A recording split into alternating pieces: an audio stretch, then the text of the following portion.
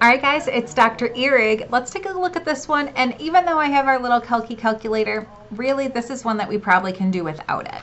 So consider the function for cell duplication. One of the things to remember is whenever we're talking about exponential functions, we're not talking about adding.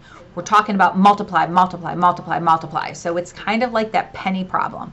If I give you a penny today and I double it tomorrow, now you have two cents. And then I double it again, you have four. And then I double it again, you have eight. And I double it again, you have 16. And eventually you have like $100,000 in less than a month. So this is it. It's all double, double, double, double, double. Or triple, triple, triple. It's not adding.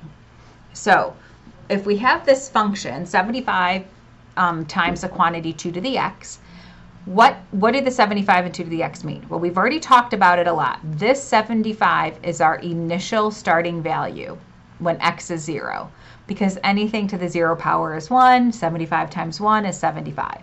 So right away, we know it can't be C or D because 75 says it's the number of cells at one minute, and it's not. It's always the initial value. So now we're looking at the difference between A and B.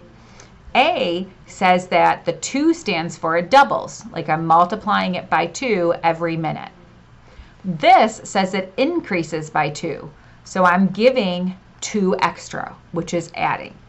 So because it's an exponential function, and I can tell it's an exponential function because x is the exponent, that means I need to multiply, multiply, multiply. Letter A. Letter A. Letter A.